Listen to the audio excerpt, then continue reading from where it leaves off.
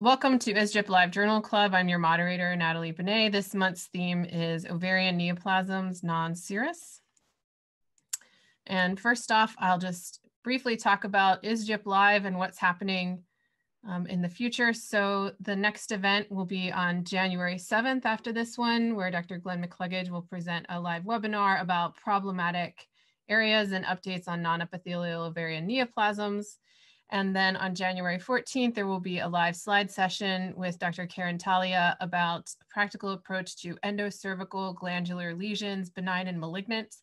And you may notice that we have a webinar and a slide session happening in the same month. So in the next six month block for the schedule, the frequency of the events has increased. So you can see the schedule and register for events at isgyp.ca. So this, these are the objectives of Journal Club to engage trainees in gaining scientific knowledge and the ability to critically evaluate the literature, to offer opportunities for trainees and young members from all parts of the globe to volunteers, presenters, and moderators, to provide mentorship and to engage the future of leaders in our field from around the globe. And I would just like to note here that if you would like to join ISGYP, you can do so. It is free for trainees and um, there is a sliding scale in terms of membership dues based on um, the country that you live in and your ability to pay. So that's not something that should prevent you from joining. You can always contact me and reach out to me about that. Also, if you are a trainee or if you know a trainee who would like to present, I think the feedback that I'm getting is that it's a positive experience and I provide feedback before the journal club about the presentations for folks. So um, not to be intimidated. And I, I would encourage you to reach out to me if you or someone you know would like to present. So this month's theme is ovarian serous, or I'm sorry, ovarian neoplasms non-serous. And the articles we are presenting are these three, which we will hear about from our presenters who are these three, three fine folks. Um, first is Dr. Jayati Datta, who is joining us. Hi, Dr. Datta. I'm glad you made it in time. I had an emergency plan to present your recording, but I'm so glad we get to hear from you live. So Dr. Datta is a consultant in histopathology at the Doctors Tribedi and Roy Diagnostic Laboratories in Kolkata, India. Our second presenter is Dr. Fouad Zakka, who is a PGY4 at Brown University and will be pursuing fellowship training, unfortunately not in GYN pathology, but in cytopathology and head and neck pathology. So we're happy to have him back. And Dr. Renan Ribeiro, who is a GYN and breast pathology fellow at my institution at Women and Infants Hospital in Rhode Island. And he will be returning to um, his home country of Brazil soon, and we are going to miss him dearly. So we're, um, we're glad to have all three presenters this month. So the schedule, I will briefly give intros, then we'll march through the three presentations, which should take, each take about 15 minutes. Um, for each presentation, the um, talk will last about 12 minutes and then we'll have two polling questions after each presentation and the floor will be open for discussion. You can provide your Q&A at the tab at the bottom, which is in the black bar. You can type in your questions there. You can also, as indicated with the second blue arrow, upvote other people's questions and we'll prioritize those for answering. And I would encourage you to put any questions or even feedback you have for the presenters there. You can put the chat, in the chat you can put feedback that doesn't need to be read live, but try not to use that for questions. It's kind of hard for me to monitor both things all the time. So now I will stop sharing and Dr. Datta, if you are ready, you can go ahead and share your screen and start your presentation. Uh, hello all. Um, this is Dr. Jayati from Kolkata, India, and my topic for today's Gynec Pathology Journal Club is this beautiful article in the journal American Journal of Surgical Pathology by Susanna Leskela et al on molecular heterogeneity of endometrioid ovarian carcinomas and analysis of 166 cases using the endometrial cancer surrogate molecular classification. So endometrioid ovarian carcinomas has a better prognosis than other histologic types of ovarian cancer and stage is considered the most important prognostic factor so far. However, it is an imperfect prognostic tool in some cases and there's a need for better prognostic classifier and it has a low but unchanged mortality over the years and there remains a scope for therapeutic improvement.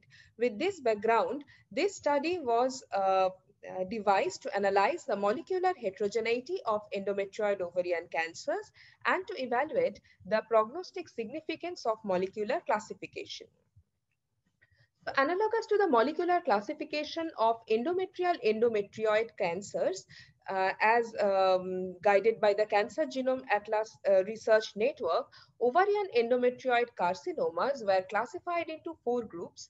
The ultramutated group with pole exonuclease domain mutation, the hypermutated group with microsatellite instability, then cancers with extensive somatic copy number alteration and low mutation rate consisting primarily of serous-like cancers, but also 10% of endometrioid carcinomas, that is the P53 mutated group. And last, the microsatellite stable endometrioid cancer with low mutation frequency and low somatic copy number alteration, which were classified as no specific molecular phenotype. 166 early stage endometrioid ovarian cancers confirmed centrally by histology and immunohistochemistry were analyzed. Tissue microarray were prepared and 18 stain sections of the array were reviewed to confirm the presence of morphologically representative areas. The morphologic features recorded included conventional squamous metaplasia, morular metaplasia, mucinous metaplasia, necrosis, and endometriosis. IHCs were performed for mismatch repair proteins and P53. Sanger sequencing were done for exonuclease domain uh, of polymerase epsilon mutation. And for tumors showing mutation, next generation sequencing analysis were done to confirm the ultramutated profile. Now the results. The average age of the patients were 51.6 years. The commonest was stage 1C. Uh, there were also a lot of patients in FIGO stage 1A and 1B group. The typical IHC pattern was negative for WT1 and NAPSIN-A and PR positivity. Only three tumors were focally WT1 positive. 50% of the tumor had a histologic grade 1 according to FIGO. Uh, grade 2 and grade 3 cases were also there. The results of molecular studies, uh, eight tumors, that is 5% carried uh, a pole EDM mutation, that is an ultra-mutated profile. 29 showed mismatch repair deficiency, that is hypermutated group. 16 tumors had a mutated pattern of P53 expression and 114 didn't have any of the previous alteration. Of note, five tumors showed more than one classification criteria. Two were pole mutated as well as mismatch repair deficient.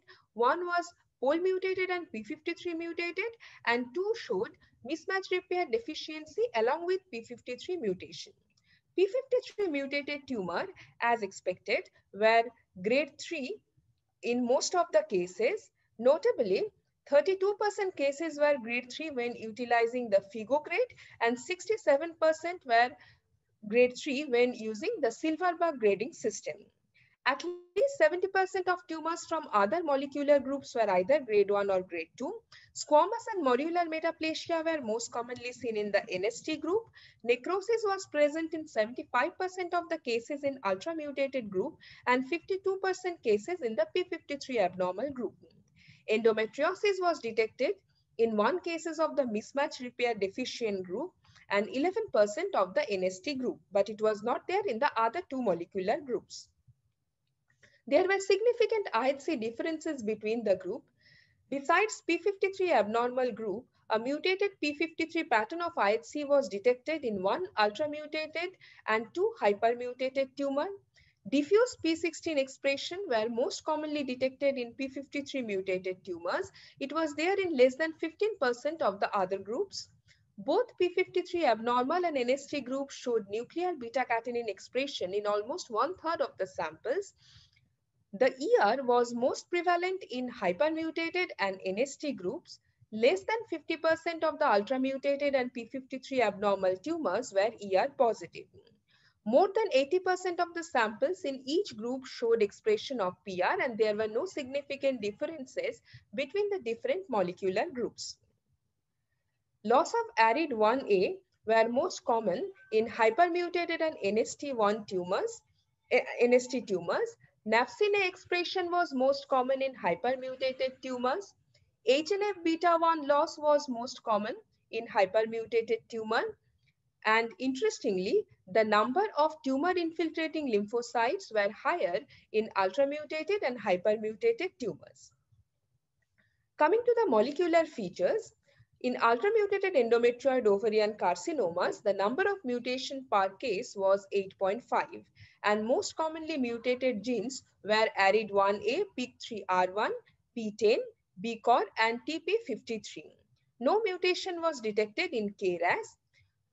Hypermutated endometrioid cancers also had ARID1A as the most frequently mutated gene, followed by PTEN, PIK3CA, mutation in PIK3R1, BCOR and TP53 were far less common and mutation of KRAS were detected in 21% of the tumors.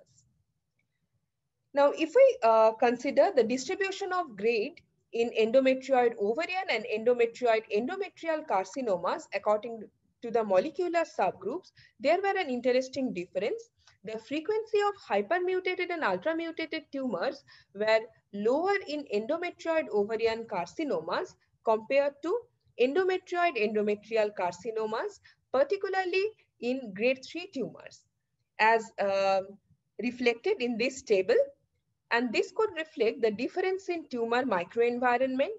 The previous studies have also reported difference in mutation spectrum of these two tumors, like endometrioid endometrial carcinomas had more frequent PTEN mutation, whereas endometrioid ovarian carcinomas had more frequent CTNNB1 mutation.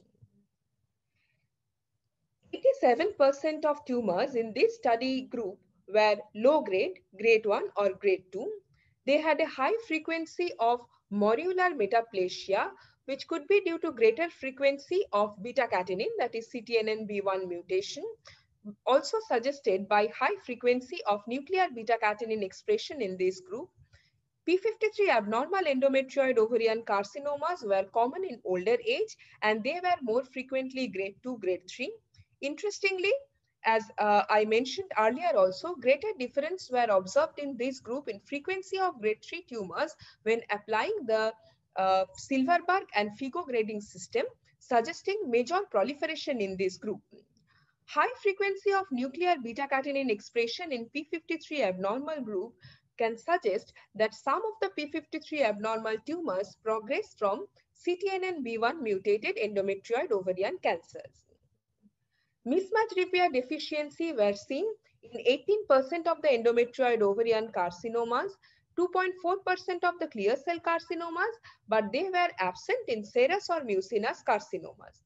Most hypermutated endometrioid ovarian carcinomas were grade 1 or grade 2 in contrast to the endometrial varieties where the hypermutated carcinomas were mostly G3. Nearly half of the hypermutated carcinomas show mucinous differentiation, a fact also reported in endometrioid endometrial carcinomas in some series.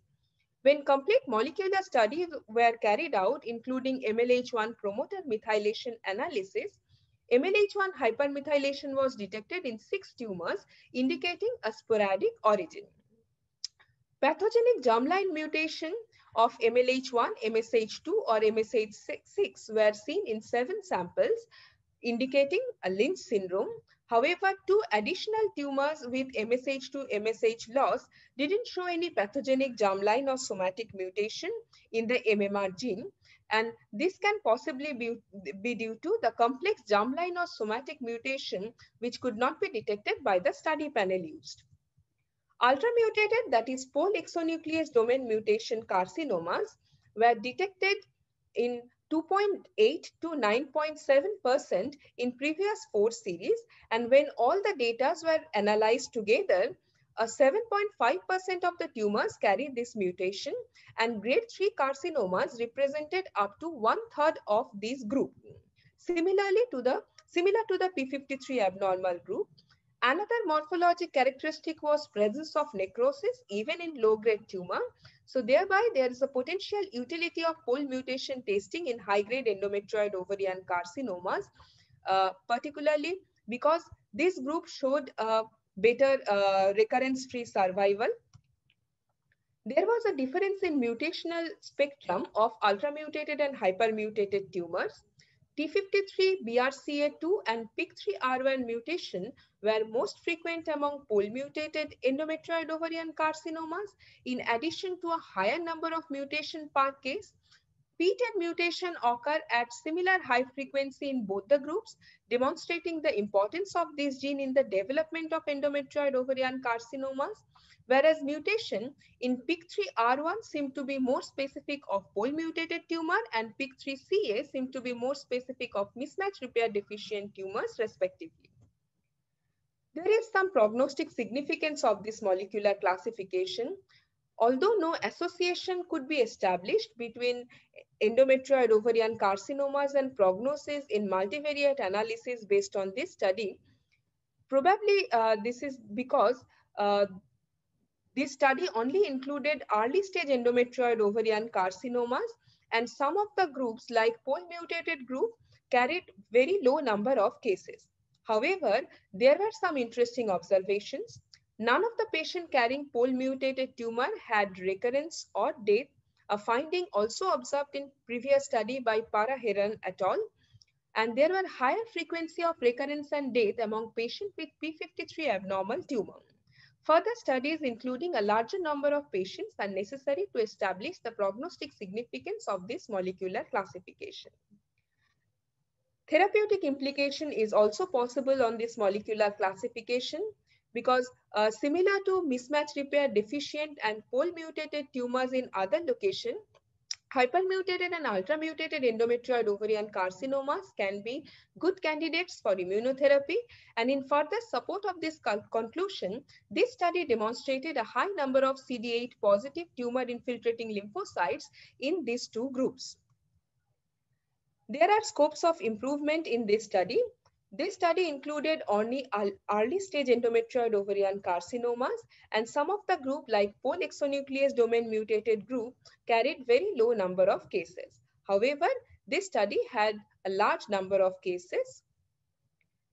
So the conclusion from this study is that correlation between morphology and clinical outcome is imperfect for precision medicine that needs a combined approach for integrating molecular information and molecular data and immunohistochemistry in concert with morphology may be helpful in subclassifying endometrioid ovarian carcinomas into clinically meaningful categories. That's all from my uh, end today. Uh, so yeah. over to you. Yeah, thank you. That was a really good job. I think um, every month I try to pick different kinds of articles, right? I always try to pick some that are more case series and then one that's pretty molecular heavy. And you did a really good job summarizing this, it was very information dense. So um, appreciate that. So I'm going to launch the polling now for those in the audience. You should be able to see the polling about this article. So go ahead and answer those questions and then um, I will go over them. And Dr. Datta, you're welcome to comment when people have started answering the questions, but we'll give people about a minute to pull that together. And I will also share my screen so that those watching the video because for some strange reason, Zoom has decided when you record that the polls don't show up. So they'll also be able to see. So now I'll share the results. So we have the first question here. Um, which of the following is true regarding endometrioid ovarian carcinoma? And there were multiple answer types. The one that is correct is certain subtypes, namely the hypermutated and ultramutated, have been shown to respond to immunotherapy. So it looks like 75% of the folks who answered that poll live answered that. Um, a few um, synchronous endometrioid, endometrioid, endometrial endometrioid carcinoma is present in 50%. That's high, it's about five to 10%. And you can see the comments at the bottom.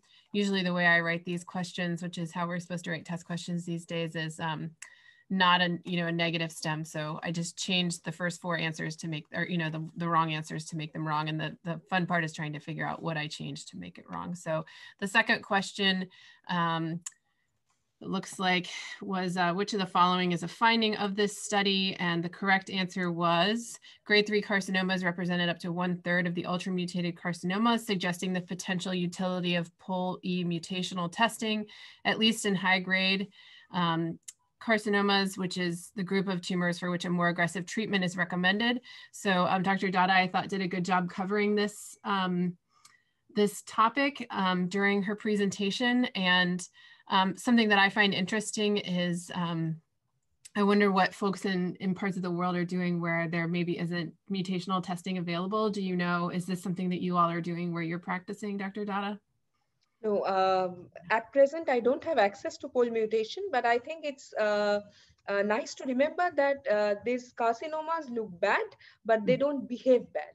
Yeah, it is nice. It is nice. And, and I'm sure any patient who could get the news that, well, you have a really high grade tumor, but you know, that but, but we we know something now that maybe we didn't know 10 years ago about, about the prognosis and possible, you know, immunotherapy or other um, um, interventions. So um, that was a really nice presentation. And let me just check. Oh, there is a question in here. Let's see. Um, right. So how um, we have a question asking how the molecular classification of ovarian endometrioid carcinoma diverges from that of the endometrial endometrioid adenocarcinomas. Um, this is kind of a complex question, I think. Um, I will tell you what, I have a nice chart that I made for a different presentation. I see that's Dr. Dasgupta. I've, I remember you. So hi, how are you? I know you can't talk back to me because we're in a webinar, but what I'll do is on the website, when I post the YouTube video, I'll put the chart that I have for the endometrial classification scheme and we can compare it to what they've laid out in this article. They are very similar. And I think, um, mostly are being utilized more heavily in the endometrial um, sort of arena. So, okay, so we'll go ahead and do our second presentation now. I believe it's, um, uh, so I have to stop sharing. It's you, uh, Dr. Zakka, so. Um, so again, hi everyone, my name is Fouad. I'm PGY4 at Brown, and thank you so much for attending uh, this meeting today and, and giving me the opportunity to present. Um, the article which I'm presenting is out of Italy, um, and it's titled Mutational and Immunophenotypic Profiling of a Series of Eight Tubal Ovarian Carcinosarcomas Revealed a Monoclonal Origin of the Disease. Um, sorry, I just need to get some of the Zoom um, toolbars out of the way. I can't see my own slides. Okay, so I'm going to start with the study design. The authors examined, sorry, the authors examined the heterogeneity of tubal ovarian carcinom carcinosarcomas and the therapeutic implications. Um, this is what they what they set out to investigate in the beginning, and we'll see how much they actually were able to reach that conclusion. So they looked at morphology, immunohistochemistry, and molecular studies. Um, and just a background, a background, carcinosarcomas, also known as uh, triple MT, Mullerian tumors, um, these are biphasic neoplasms. Both components of the neoplasm are malignant. They're highly aggressive. They have a poor prognosis. The most common epithelial component is high-grade serous. And the sarcomatous component could be either homologous, which means indigenous to the Mullerian line, or heterologous, where we could see non-ovarian tissue such as cartilage, bone, or striated muscle. So in terms of histogenesis, there are three uh, hypotheses of how these tumors come to arise. Uh, first of all, there's the collision theory, which um, posits that there are two distinct malignant, malignant populations comprising the tumor. There's a combination theory where uh, we think it's a common cell which eventually differentiates into two cell lines. And there, there's the conversion theory, where we believe that there's a metaplastic transformation of one cell type to give us these two biphasic components. And this is a great um, example of carcinosarcoma, um, courtesy of Dr. Banet's uh, um, cases. Uh, on here, you can see the uh, epithelial component, which is uh, very malignant looking high-grade serous. And um, to the right, you could see the sarcomatous component, which here uh, has some osteosarcoma and uh, chondrosarcoma as well. This is also, uh, this case also had some rhabdomyosarcoma differentiation, and you could even see uh, Z lines in this case, uh, which is just an amazing uh, photo from Dr. Banet.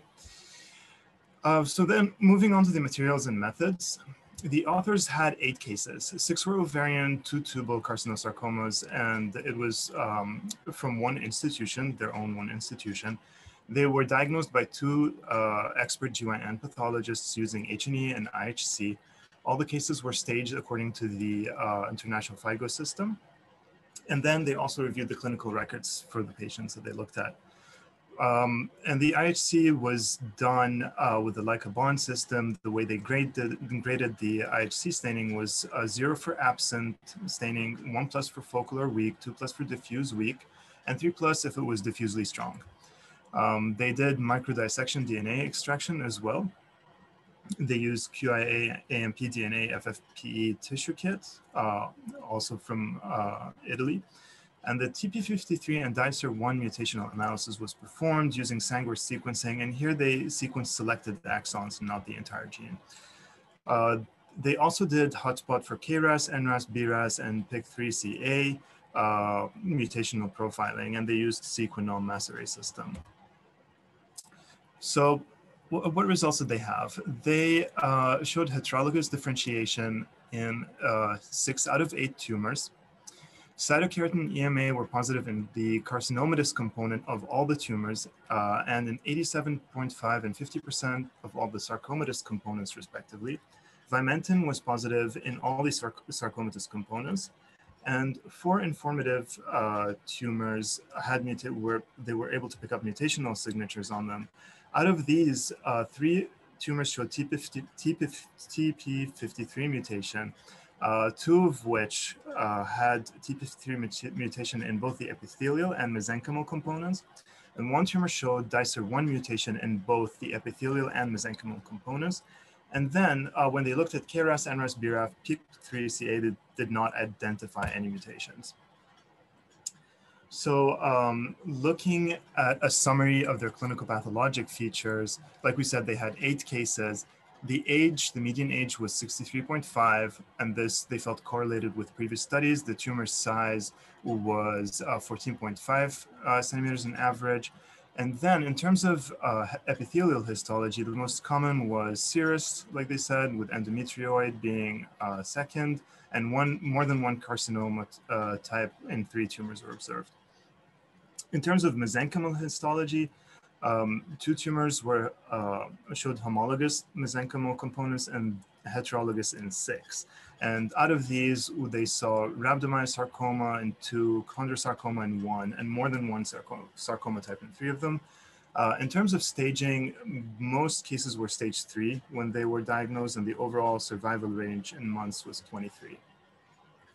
Um, this is uh, one of their cases where they just showed how uh, diverse um, the tumor could be.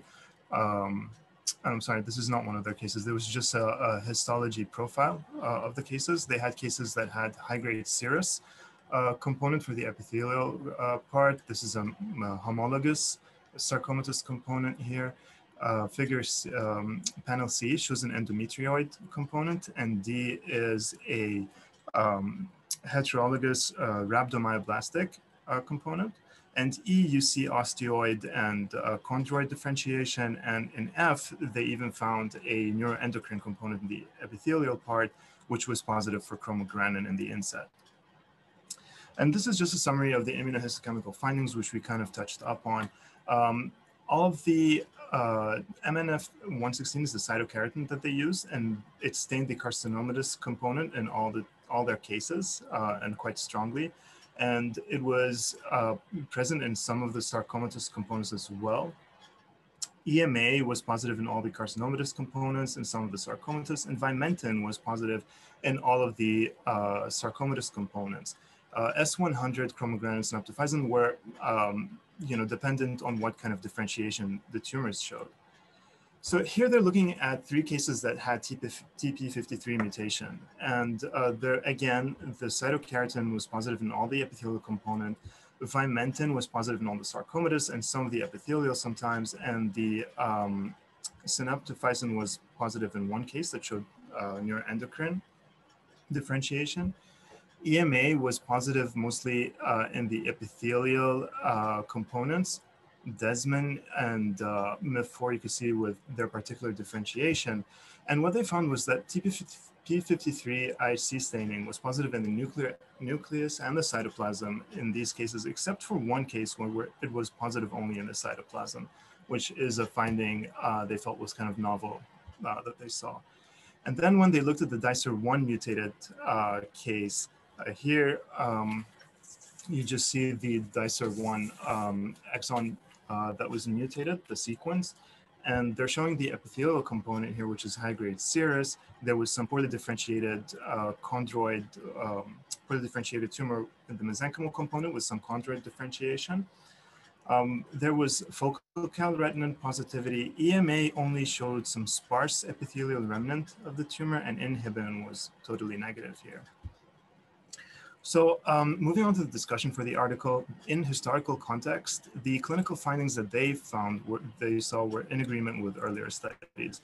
So in terms of age, tumor size, survival, they did not uncover anything that um, was novel. The IHC patterns were also uh, co uh, corresponded to earlier findings. And um, what they contributed, actually, they feel that their study was one of the largest carcinoma, uh, carcinosarcoma studies of tubo-ovarian origin. And the reason for this is that most of the other studies on uh, Müllerian carcinosarcomas were of uterine origin. They found TP53 mutations in three of eight of their cases, uh, and two cases, it stained both the epithelial and mesenchymal. Uh, both lines were mutated. And in one case, only the mesenchymal uh, component was mutated for TP53. And they felt that they posited actually that the reason for that was maybe as the disease progressed, the tumor became polyclonal and lost the epithelial um, TP53 mutation. In terms of unexpected findings, they uh, reported the highest rate of TP53 mutation uh, ever seen in ovarian carcinosarcomas. All of their cases were positive. Um, and it was the first report of cytoplasmic TP53 staining in one case. And then um, they uh, posited as well that since three out of four informative tumors show the same mutations in both components, the epithelial and mesenchymal, so in this case, it was two for, two, for TP53 and one for Dicer1. This suggested a monoclonal origin, uh, i.e. the combination theory that we discussed. In terms of clinical applications, even though they said um, at the outset that this was one of the things they were attempting to answer, um, I didn't see any reference to, uh, you know, specific clinical applications for the study. And in terms of areas of improvement, they recognize that, you know, they, they need a, a larger number of cases for their study. Um, I thought that the strengths of the article was combining morphology, IHC, and molecular, that they did it in, in an elegant way, and that's very informative. Um, and they started setting a fairly credible course towards the origin of, of, of ovarian carcinosarcomas and how are these tumors, you know, um, starting off, but not so much um, relating the different um, the different types in terms of clonality, in terms of how they behave or how maybe they can be treated. In terms of areas of improvement, since histology and the IHC serve mostly to diagnose the tumor, uh, the molecular studies are really what are uh, giving us an idea about how these tumors are originating. So I felt that maybe a larger study could give us a better understanding of mutation signatures and how these tumors really originate. Um, and as I said, clinical application was really scant here. Um, and then another question that came up for me is like, how important is origin versus destination? So how do tumors that have and maintain a monoclonal profile behave versus those that are polyclonal, either since inception, polyclonal, uh, if that exists, or transform along the way, uh, like their one case that lost the P53 and the epithelial component.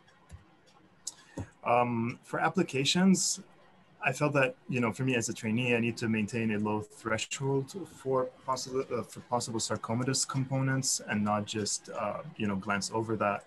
And in the future, it would be great if there was a multi-institutional study just to ramp up the numbers uh, for this kind of tumor to get you know a more meaningful idea of uh, clonality and origin. Thank you. Thank you. That was really that was a good presentation. I um, I like this paper for the reasons you talked about. It's it's novel. The um, majority of the times we we talk about and read about carcinosarcoma of Mullerian origin, it's usually in the endometrium, and I thought they did a good job. Um, and like you said, they didn't really find clinical application. I think they hoped that they would find, you know, um, oh, you can stop sharing if you want, but they Yeah. they were hoping that they would find that's okay. Um, they would find um, targetable mutations, although they weren't really see, like they weren't really looking at a lot of the, um, you know, targetable mutations. But I I think that that's what they were hoping to do, um, and it it it was well done in terms of just being very thorough. Um, and like I said, that they were hunting for therapeutic options. That seems to be what what a lot of studies are doing these days. That was what the Yeah. last study did as well. Um, and I did think it was interesting that they found um, common mutational patterns with between the two components of the tumor.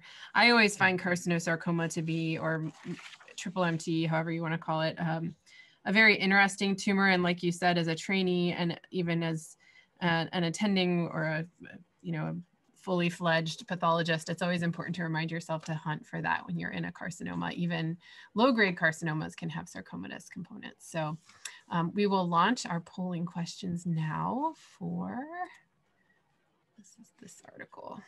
Okay. And then I will bring up the questions for those watching online.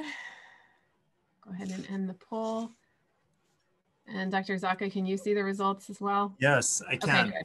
Okay. So yeah, thanks. Thanks for answering. Um, so for the first question, which of the following is true regarding tubuloovarian carcinosarcoma?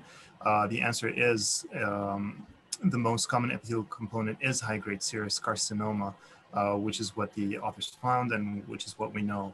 Um, the first um, option, only one of the biphasic components needs to be malignant, and by definition, both uh, components need to be malignant. Prognosis is um, not at all favorable, and um, immunohistochemistry might help uh, highlighting the different components of the sarcomatous uh, part or uh, neuroendocrine differentiation, for example, but um, you know, the diagnosis is made mostly by um, H&E, by, by morphology.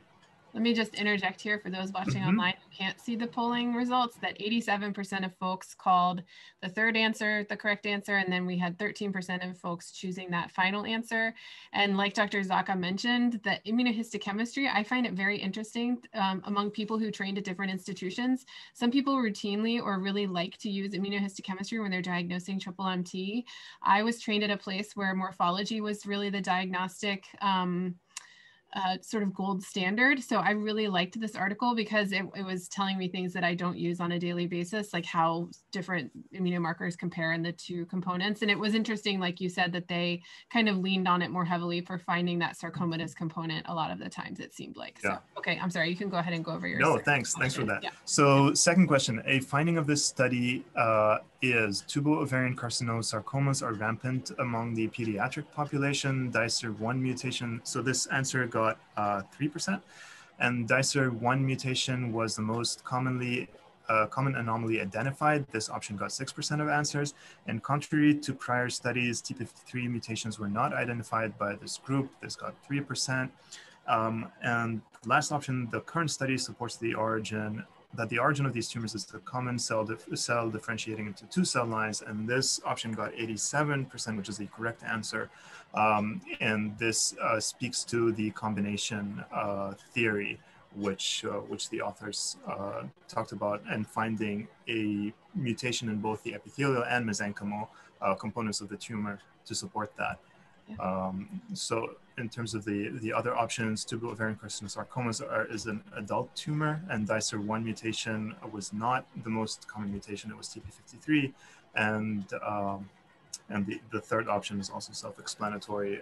They did find TP53 and, and built a lot of their conclusions around it. Um, Dr. Banet, I also see that Dr. Dasgupta has a comment in the Yeah, chat. he's he Um, said very nice presentation. Histogenesis versus differentiation is a really important as well as philosophical question. Only the soft tissue folks settled it for differentiation. So And this this reminds me of of uh, our soft tissue pathologist. Whenever we ask him, uh, you know, so what is the cell of origin here? and He always uh, will tell us like it really doesn't matter as much as where this tumor is going. Uh, I always remember that from him. and and triple MTs are like the immature teratoma of you know the epithelial line. You know they can literally do anything that they want. They can make Yeah. Multiple different kinds of epithelial tumors. They can make yolk sac tumor. They can make, you know, they can do whatever. So just keep an open mind when you're in a triple MT because you can, you know, you'll go all different places. I like that soft tissue um, quote too. I might have to start saying yeah. that. Okay, so we can um, go to our third presentation now, Dr. Ribeiro. My name is Renan. I'm from Brazil. I'm currently pursuing the International Fellowship at Women and Infants Hospital of Rhode Island. I'm happy to be here. We're going to talk about a topic that is less malignant than the previous two topics that were addressed, but it's not less interesting because of that. And it also brings some uh, interesting philosophical questions. So I'm going to talk about a paper entitled Ovarian Seromucinous Cystadenomas and Adenofibromas, the first report of a case series. This was published very recently in Histopathology by Drs. Ali Ben Mussa and uh, Glenn McCluggage. And well, this is a case series. So in terms of study design, it's fairly simple. So I'm going to stick mostly to the background that motivated this study. Um, as a category, ovarian seromucinous tumors were recently introduced in the WHO classification. This happened in the 2014 edition. These tumors are defined as benign tumors that have at least two Mullerian epithelial phenotypes in them, and they have to make up at least 10% of the tumor volume. And this, uh, this category of tumors, especially the benign seromucinous tumors, they were introduced sort of as a more of a theoretical precursor to what we know is the borderline seromucinous tumors. These are uh, have been more widely studied and we have more information about them. But since things in the ovary seem to follow the cystadenoma or adenofibroma borderline carcinoma progression, these were introduced in the classification as well, even though there, there wasn't a lot of information available at the time. Uh, we did know that they have an association with endometriosis, as do the borderline counterpart. And because of this lack of uh, solid information, the aim of this study was to report a series of benign ovarian seromucinous tumors. So 22 cases that were diagnosed between 2010 and 2020 were selected. These cases have been uh, were double coded as having serous and mucinous cystadenoma and adenofibroma in the author's institution. And this is how they found the cases through the SNOMED codes. And the authors review the histology and the clinical information. So this table summarizes pretty much the most important findings of the study. Um, you can see on the left here that the patient age was uh, followed a very wide range from 32 to 83 years old, with the mean being 62. That means that most patients were either perimenopausal or postmenopausal. Uh, regarding the laterality of the tumors, the left ovary was more often involved. Um, there was tumor in the left ovary in 14 cases. This has an interesting reason uh, why. I'm going to talk about that later. Six tumors were in the right side and two tumors were bilateral. The size also very wide range from 0.7 cm to 30 cm. Um, it's natural to think that these smaller tumors were likely uh, incidental findings, which seem to be the, the true for the majority of cases in this study, while the big tumors were likely connected to the patients that had uh, symptomatic presentation, either abdominal pain or distension or something like that, uh, mass effect, right? And about the cell types present, all of the tumors in this case series had both serous and mucinous epithelium. But from the 22 cases, eight of them presented with like a third epithelial phenotype, and this was termed endometrioid. I'll show you what it looks like later. Um, endometriosis was found in a couple of cases. Three patients had ipsilateral endometriosis. One patient had contralateral endometriosis. Two presented with endometriosis of the paratubal soft tissues one in the uterine serosa and one in the sigmoid colon and rectal serosa. And some of the cases were also associated with other Mullerian neoplasms. So one, uh, one patient presented with an endometrioid carcinoma in the same ovary, whereas in the contralateral ovary, three patients had one an endometrioid carcinoma, one a borderline serous tumor, and one a borderline clear cell tumor. Uh, some endometrial tumors in two patients were uh, also found, and one patient had a Mullerian clear cell carcinoma in the rectum, probably arising from endometriosis. So what, what did these tumors look like? Well, the, this is the basic morphology for a seromucinous cystadenoma or cystadenofibroma. You have a single layer of a benign blend looking epithelium.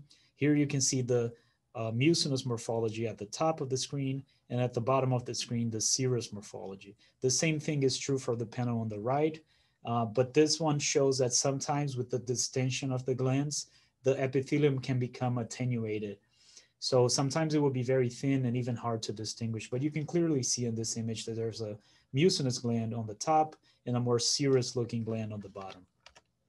In some tumors, the same gland showed both phenotypes, and this could occur uh, both as a sharp, abrupt transition, like you see on the left, you have a ciliated serous phenotype and it immediately shifts into a mucinous phenotype, or it could be uh, in the form of a gradual transition, like the image to the right, where you see both mucinous and serous phenotype, but you also see some cells that kind of fall in between that spectrum, show like an intermediate phenotype.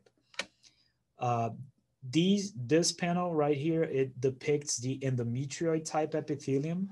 Um, you have a serous gland on the bottom and on the top, notice how the epithelium is mucinous on the left, and it starts uh, blending in with this uh, very eosinophilic, tufting, hobnail appearance epithelium. This is what the authors named as endometrioid uh, epithelium, and it was found in eight cases in this series. Sometimes the endometrioid phenotype was associated with uh, pigmented stromal histiocytes and endometrioid type stroma, which seems to suggest that these tumors are even more associated with endometriosis, if you will. Uh, and most of the mucinous epithelium found in this case series was of endocervical type. So you had these tall columnar cells with clear uh, mucinous cytoplasm. But one case showed a more uh, intestinal phenotype with abundant goblet cells. So these two images are from that single case that showed a more uh, sort of enteric or gastrointestinal phenotype. But this was the exception. Most of them were of the endocervical appearance. So uh, obviously this uh, paper is very important because it's the first large series on benign ovarian seromucinous tumors. And this just raises the question, is it because these tumors are uncommon or are these tumors underreported? And um, I think it's actually a little bit of both. So um, these are definitely less common than your run-of-the-mill uh, mucinous cystadenoma or a serous cystadenoma, which seem to be kind of ubiquitous if you are in GYN pathology practice. But there's also an element of underreporting going on. Um, I think a lot of pathologists may see a tumor like this and then opt uh, for whatever epithelial type is more prominent um, it will probably get called that. So if you have like, let's say 80% serous and 20% mucinous, some pathologists would just classify it as a serous cystadenoma. Um, and this contributes to the underreporting. Also, there's another thing that contributes to that is that the, the methods with which the author selected the cases. So when you go to the SNOMED codes, you need beforehand that a pathologist would identify the case as both serous and mucinous for the design of this study. But um, if you're working under the more recent WHO definition, just having more than one Müllerian phenotype, tumors that had the endometrioid and the serous, or for example, the mucinous and the endometrioid phenotypes together, they would still be called seromucinous by WHO convention. So but but they would be off the study. So that's also an element of underreporting. And, and that definition brings another question into play, which is, is seromucinous really the appropriate name for these tumors or would be, be better off calling them mixed epithelial neoplasm, considering that their current definition is more than one Müllerian phenotype, not necessarily mucinous and serous together. Uh, most of the cases are have a fairly straightforward diagnosis. These can be easily done by morphology. But in case you're having trouble differentiating between these two types of epithelium, whether they're attenuated or something like that, you could use uh, WT1 immunohistochemistry, for example, to differentiate between the serous phenotype, which would probably be positive for WH, WT1, versus the other phenotypes. And you could also use mucin stains to prove that a specific gland shows a mucinous phenotype. But these are uh, not normally necessary. And this study also confirmed the association with endometriosis, which is something that we already knew to be true for the borderline tumors of this category. And this association with endometriosis is connected to the left side predominance, which to me is really interesting because it's not something uh, entirely intuitive to think about. So why are these tumors more common on the left side? Um, most of the large studies covering endometriosis have shown that endometriosis is also more common on the left side.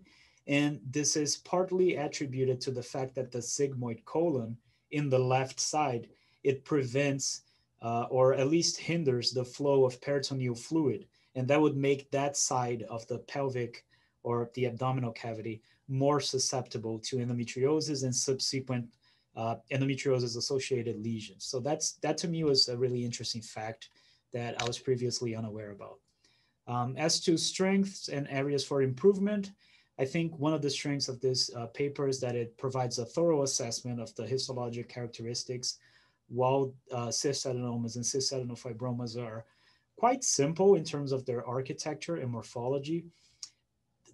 This also means that they can be overlooked very easily. So I think this paper provides a nice detailed um, morphological description and also a very detailed historical context in the discussion section which would be a little bit beyond the scope of this presentation. But especially if you're a trainee, I think it's very worthy uh, to read the discussion section in this article to understand how did this category of tumors evolved and how did the terminology evolved over time. And as to areas for improvement, I would definitely say that molecular characterization is necessary. Um, at this point, we don't really know what are the molecular changes behind the benign seromucinous tumors. And there's two questions that come to mind. Are all the benign seromucinous tumors molecularly similar or are the ones that have an endometrioid phenotype different from the ones that don't have that phenotype? It's a question that still remains to be answered. And also, do the benign and the borderline seromucinous tumors exist along a continuum like we think they do, or are they actually just different categories of tumor? This is also an interesting question that still needs to be addressed. Uh, in terms of applications, I think what this paper does is it uh, provides a more structured approach to diagnosis. So hopefully this leads to increased recognition, which leads to more knowledge about these tumors. We're gonna get more papers and just more overall information. And uh, the bottom line take home message is don't be afraid to diagnose a seromucinous benign tumor. Um, we do need to increase the numbers of these cases in order to find out what's really driving the pathogenesis of these tumors. And the image to the right, I chose just to illustrate. It's a case that I had back in April here at Women and Infants, and it shows a very nice uh, ambiguous phenotype in the same gland.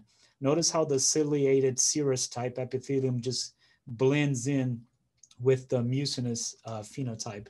So I just thought it looked very nice and was a nice complement to the presentation. Did, did you sign that case out as a seromucinous cyst? Yes, we did.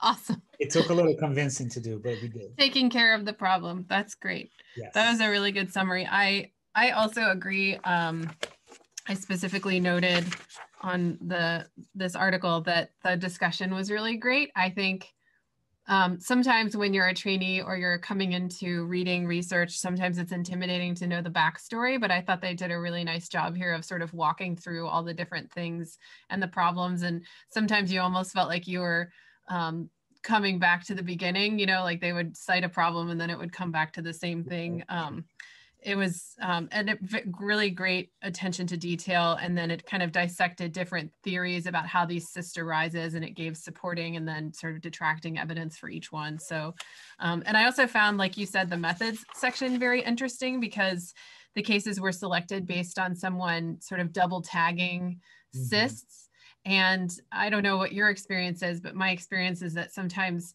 um, when you're putting those tags on, you do or don't do it consistently. I'm sure um, some people do and some people don't. So I always wonder, you know, if there's an institution, I'm not saying for this article in particular, but if you have an institution with multiple faculty, are they all doing it uniformly or are you sort of enriching for certain people who are more, you know, more I diligent about? It takes a lot of effort to standardize this type of coding, right? So a lot exactly. of institutions have uh, problems with that. It's not. exactly, but it's also very hard to search for it otherwise, because then you would be searching through I don't even know how many sort of ovarian cysts that come out. I think and the only way to really find out would be to like just get all the adenomas, which might mm-hmm. be a Herculean effort if you're working in a large institution, right?